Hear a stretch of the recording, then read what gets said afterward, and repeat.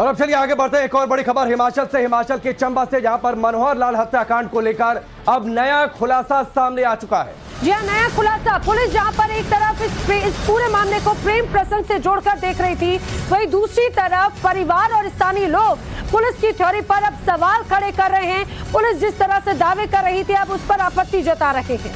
परिवार और स्थानीय लोगों का आरोप है कि मनोहर की हत्या के पीछे प्रेम प्रसंग नहीं बल्कि आरोपी शरीफ खान द्वारा कब्जाई गई। पंद्रह बीघा अवैध ज़मीन है। आपको बता दें कि मनोहर लाल नाम का युवक छह जून को लापता हो गया था, जिसके बाद नौ जून को उसकी लाश बोरी में मिली थी।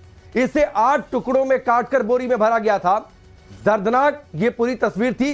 हत्या का आरोप शरीफ खान के परिवार पर लगा और पुलिस ने जानकारी दी है कि शरीफ खान के परिवार की लड़की से मनोहर का प्रेम प्रसंग था, जिसकी वजह से शरीफ खान और उसके परिवार ने मनोहर की हत्या कर दी हमारे साथ ही मनोज इस समय ज़्यादा जानकारी के साथ में जुड़ रहे हैं। मनोज का रुख करें? लेकिन आपको बता दें, लगातार इसको लेकर सियासत भी हो रही है।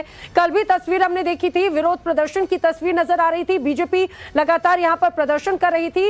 राज्यपाल को ज्ञापन भी सौंपा था। लेकिन मनोज, अब एक अलग थ्योरी सामने आई। पहले इस पूरे मामले को लव जिहाद या फिर प्रेम प्रसंग से जोड़कर देखा जा रहा था, जिसके चलते माना जा रहा था मनोहर की हत्या की गई। लेकिन यहाँ पर ज़मीन से जुड़ा हुआ भी मामला सामने आया। क्या अपडेट से हो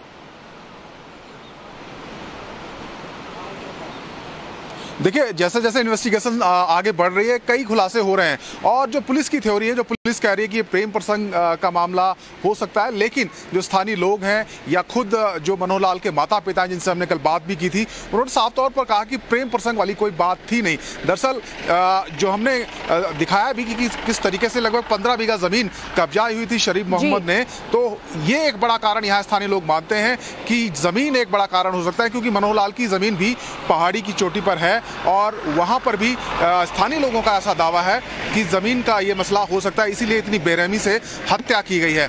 और फ़िलहाल मैं अगर यहाँ चंबा की बात करूँ सलूनी में मैं इस वक्त हूँ धारा एक लगी हुई है लेकिन अब यहाँ पुलिस ने सख्ती बहुत बढ़ा दी है। इवन मीडिया को भी बैरिकेडिंग से आगे नहीं जाने दिया जा रहा है। हम करीब 12 किलोमीटर पहले खड़े हैं और ये किहार थाना क्षेत्र के मनोज मनोज आपको रोकते हैं बहुत बहुत शुक्रिया फ़िलहाल इस पूरी जानकारी के लिए बातचीत के लिए। मनोज चंबा में मौजूद है।